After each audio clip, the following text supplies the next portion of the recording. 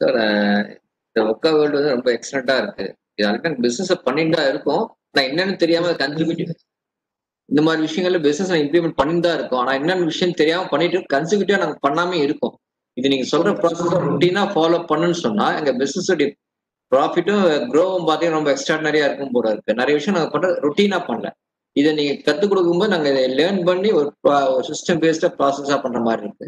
உங்க பிசினஸ் கண்டிப்பா hundred percent ரொம்ப யூஸ்ஃபுல்லா இருக்கும் எந்த எந்த ஒரு டவுட்டுமே இல்லை.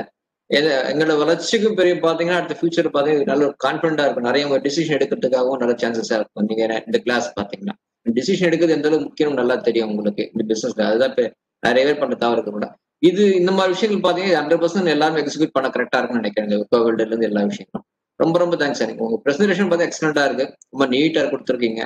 ஒரு சின்ன ஒரு ஆசோசியேஷன் கூட இல்லை. அவ்வளவு கிளியரா கொடுக்குறீங்க. அது ரொம்ப தேங்க்ஸ் ஸ்பெஷலாக உங்களுக்கு சொல்லி